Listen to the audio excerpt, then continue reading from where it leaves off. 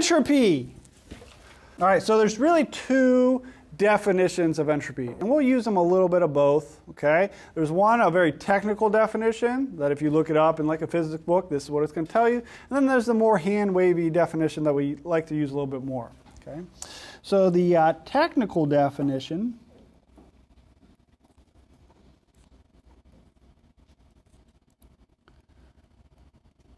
And uh, believe, uh, oh, by the way, entropy is uh, abbreviated as S, uppercase S.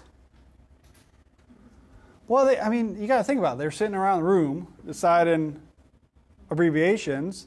Like, oh, entropy, let's name it E. Like, Bill, we already used E for energy. Oh, that's true. And so, S. I don't know. Apparently, it was the end of the day. They couldn't come up with anything else. All right, so the technical definition is uh, the number of ways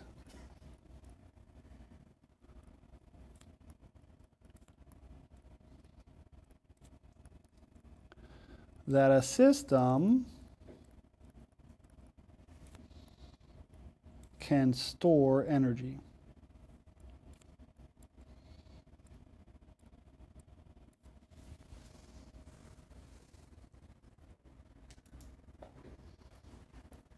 And the more practical, sort of everyday definition is basically it's a measure of disorder.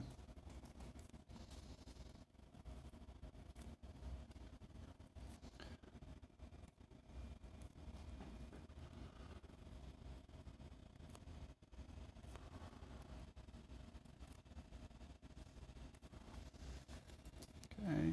And so what that means is the more disordered something is, the higher the entropy.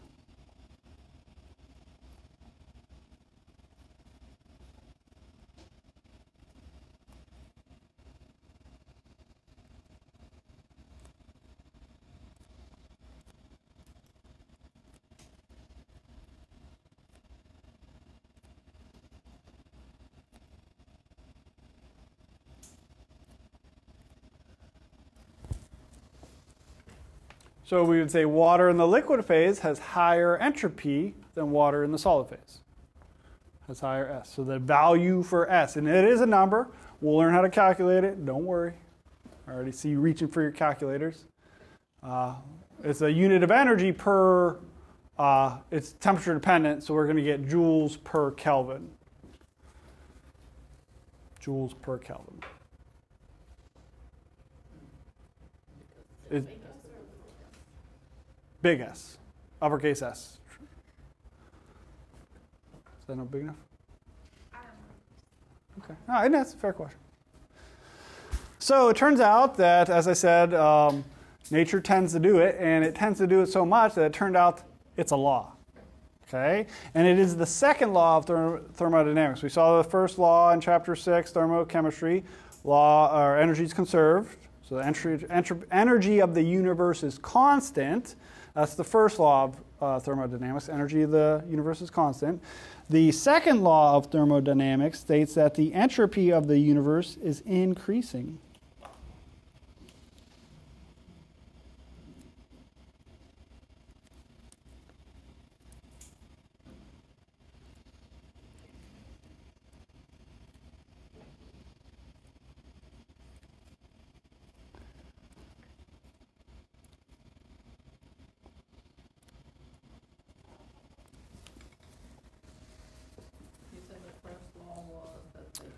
Energy of the unit. The first law of thermodynamics is that the energy of the universe is constant.